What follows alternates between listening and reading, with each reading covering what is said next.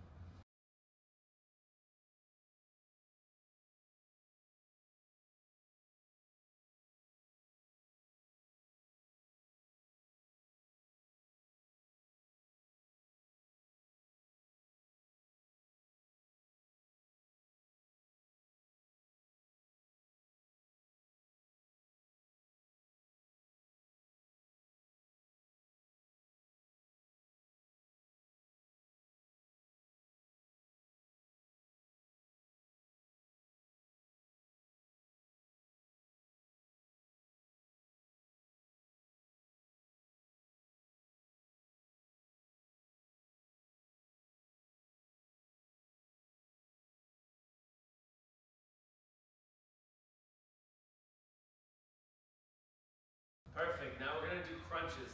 So I'm gonna be on my back. I'm gonna have my feet up in the air. I'm gonna put my hands up by my face. And my job is to get my shoulders off the mat.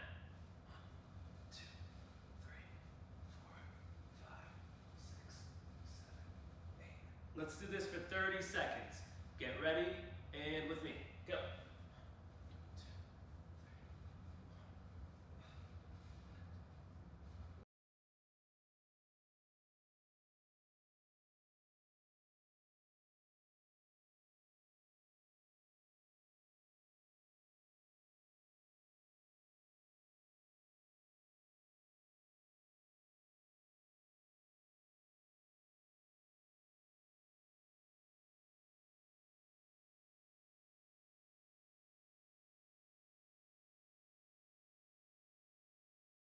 Perfect. Now let's do push-ups. 30 seconds. If push-ups are way too challenging for you, if you're a little dragon, if you're three, four years old, then feel free to do shoulder tags. If you're up for the challenge, go right for it. So your two options, either shoulder tags here, tapping your shoulders, or push-ups here. Chin to the mat and back up. 30 seconds. Go.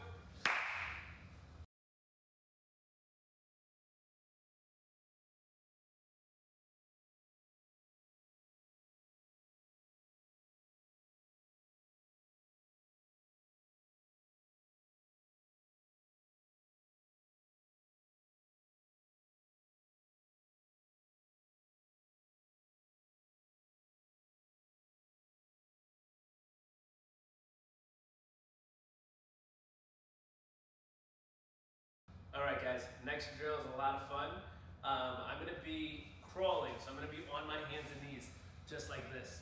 From here, what I'm gonna do is I'm gonna take my knee and I'm gonna tap my shoulder. So I'm gonna bring my knee up to my shoulder and then back down. One, two, three, four, five, six. Let's see how many you can do in one minute. Get ready.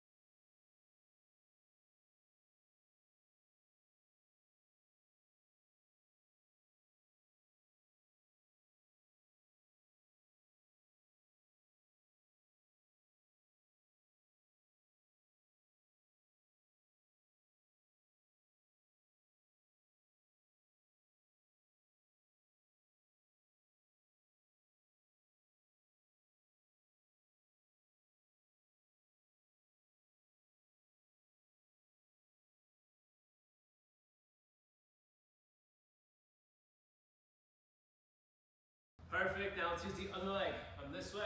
I'll do it this way so that way you guys can see. Knee up to my shoulder and back. One, two, three, four. Not your elbow, not your your shoulder all the way up here. Boom, boom, boom, boom. Get ready. Go.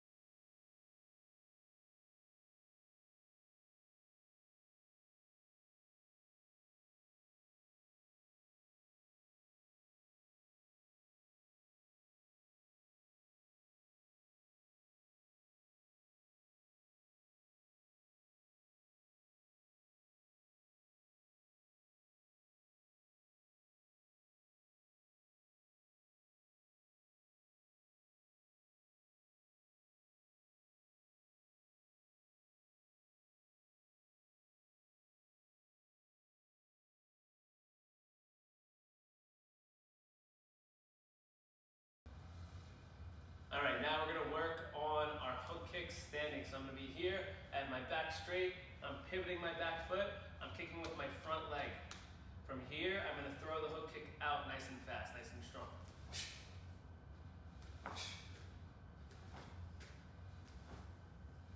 Just like that, as many times as you can in one minute. Go!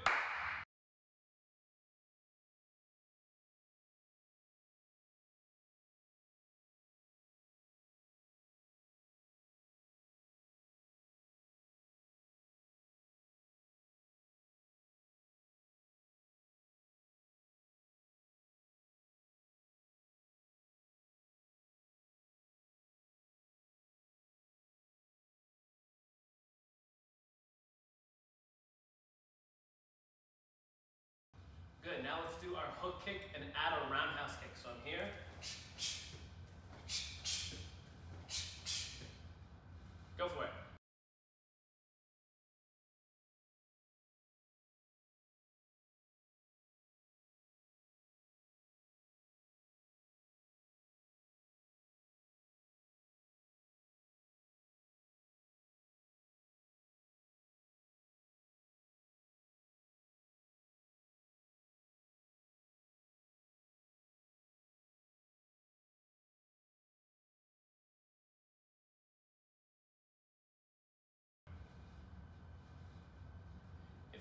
First super challenge at a side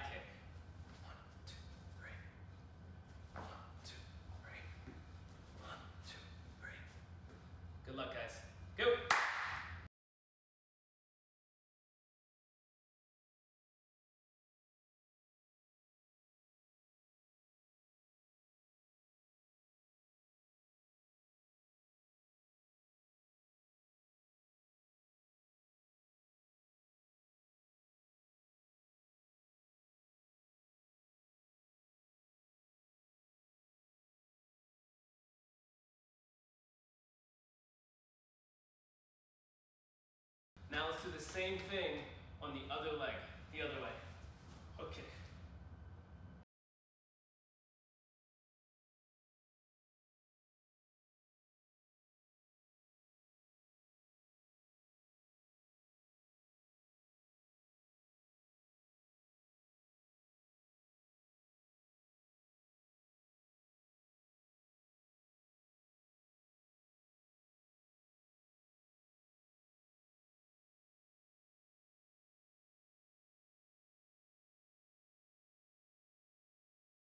Good. Now hook kick, roundhouse kick.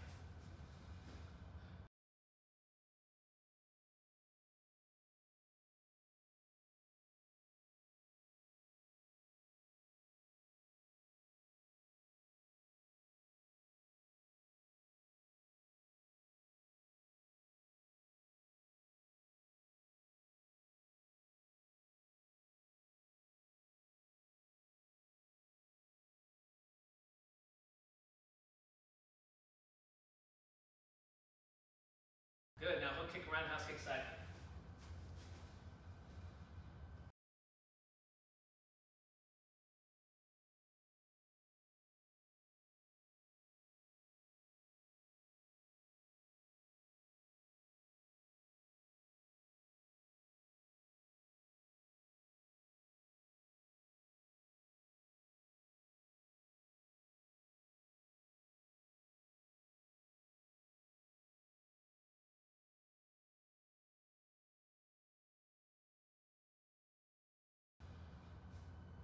Now we're gonna work on our axe kick. So when I do an axe kick, this is a really good kick for number one, building up athleticism and flexibility and explosiveness in your legs. But it's also a kick that you can use in sparring to really back up your opponent or knock them down or whatever. But it's a really powerful kick.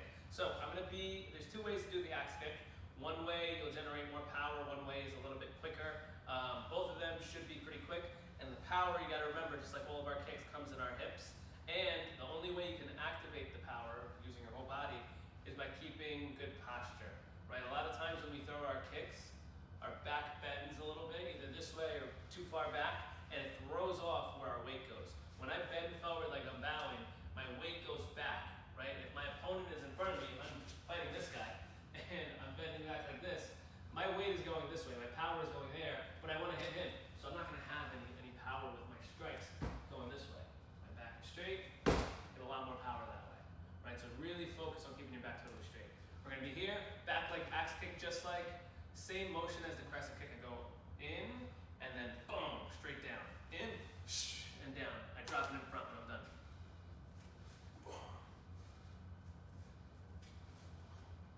We're gonna do one minute on each leg. Go.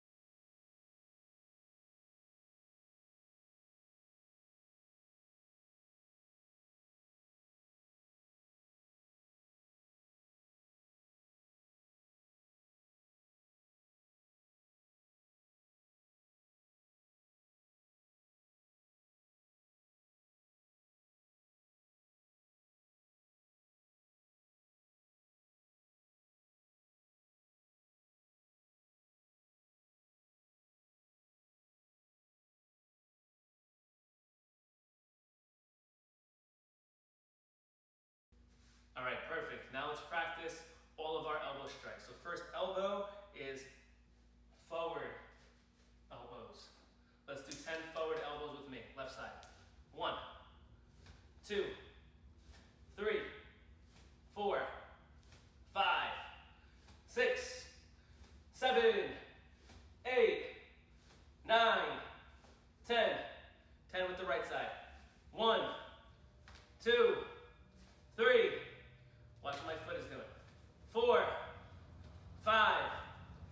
six, seven, nice side yell, eight, nine, ten. Now up elbows. It's like I'm combing my hair back. Elbow coming up, hitting underneath the guy's chin. Left side first. One, two, three, four, five, six, seven, eight, nine, yeah, ten.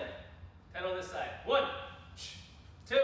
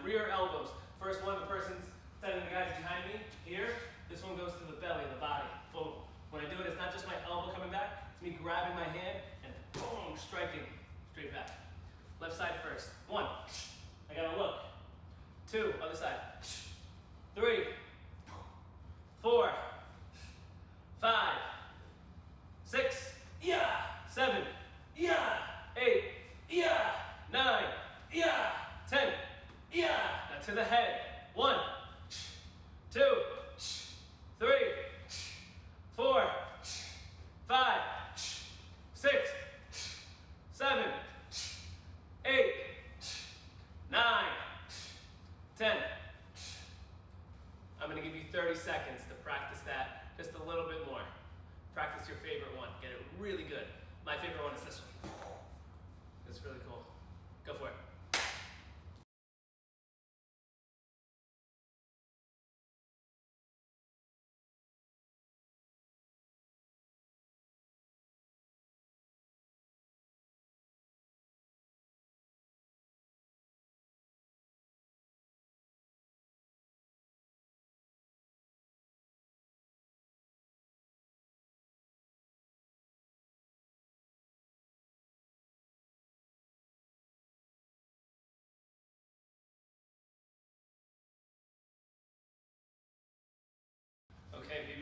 3 and black belts for this part. You're gonna either need boxing gloves or your sparring gloves. And be here, you have your hands up. I wanna see just basic boxing combos. One, two, three, and four. If you don't know them, let's go over it now. So boxing combo number one is a basic jab. This is a punch with your left hand. I'm gonna do everything on my opposite side. So this is my right leg, but on camera, if you're copying me exactly, this should be your left look like you're trying to look like you're um, you're watching me in the mirror. Do exactly what I do. I'm here. Combo number one, jab. Again, jab, jab, jab. Remember, hands up by your cheeks, shoulders up, chin down, knees bent. A lot of us don't bend our knees enough. Let's make sure we bend our knees. Jab, jab. What am I doing with this foot? Jab, jab. I want you to say one as you do this. One, one, one. Combo number two, jab cross. Two, two, two. Again, notice my feet moving. Notice my knees bent. Again, two. Combo number three, I add a hook.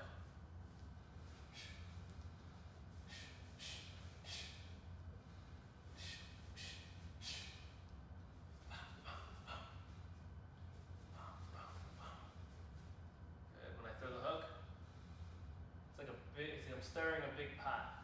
Then I come back. Big stirring motion with my arm as I turn my hip into it. Boom. Boom.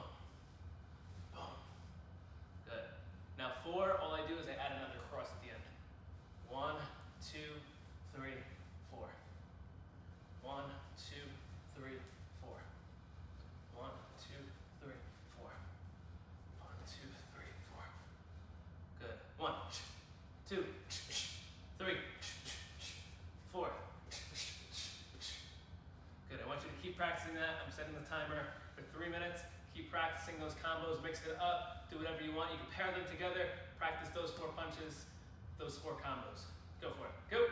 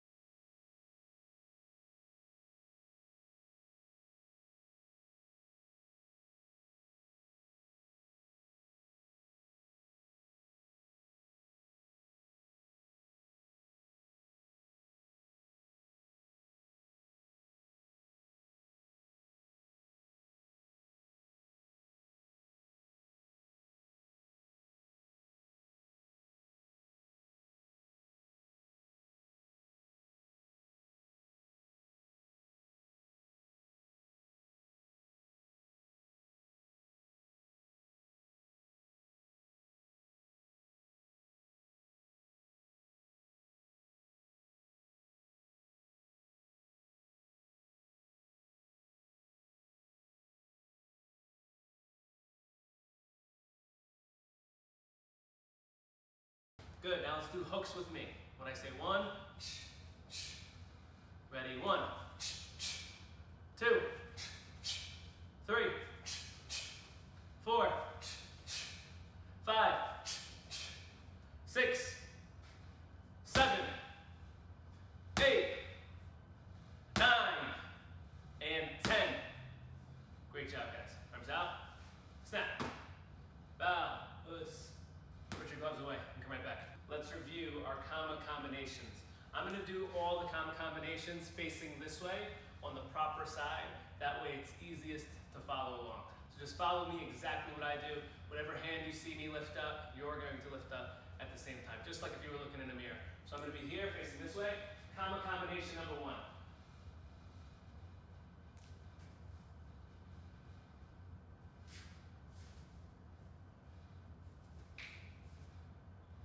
Fast.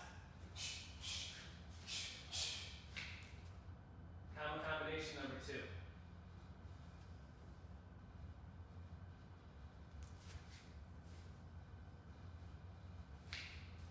A little faster.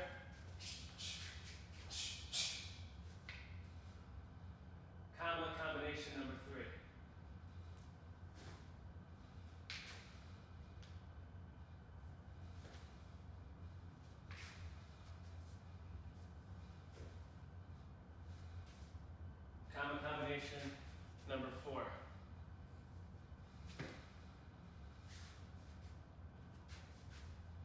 Kama combination number four.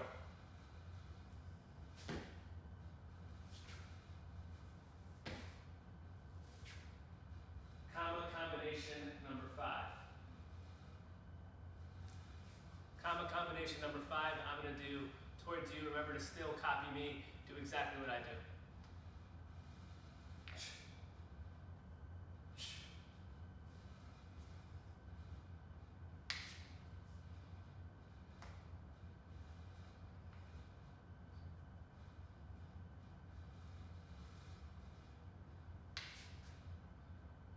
kama combination number six.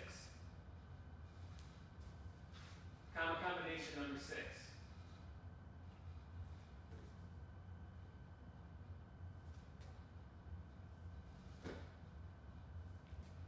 Kama combination number seven.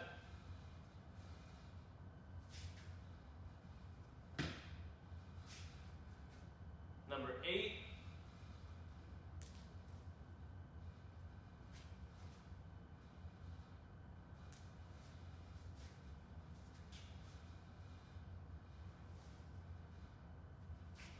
One more time, number eight. I'm gonna do it this way.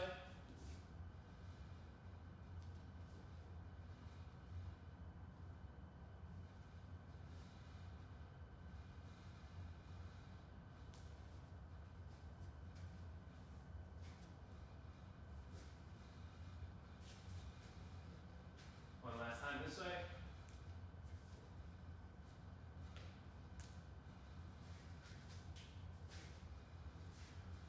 Number nine. Just like number three. Slide up. Roundhouse kick, roundhouse kick. High block, low block.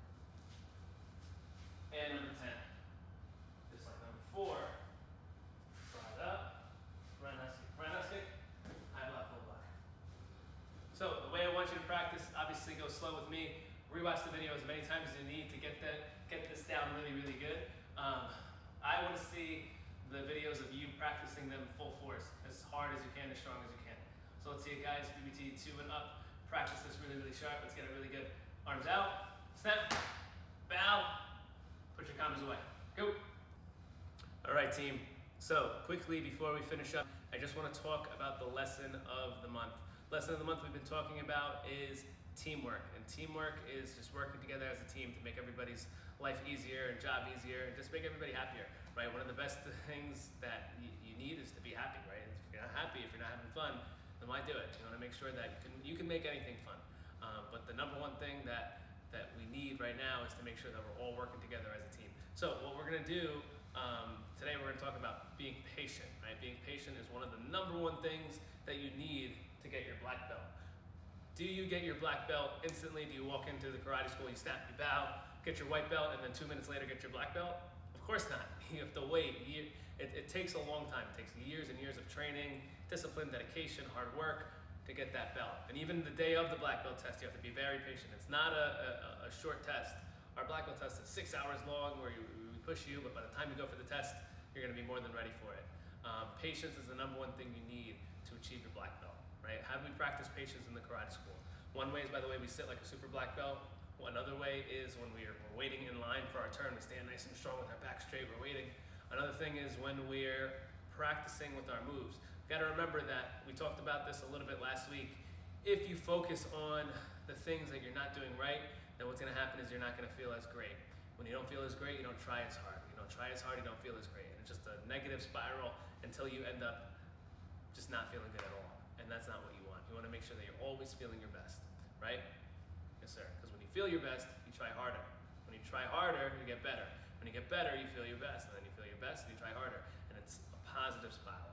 That's called the black belt attitude. That's called focusing on the things that you're doing right, and you guys are doing a lot of things right.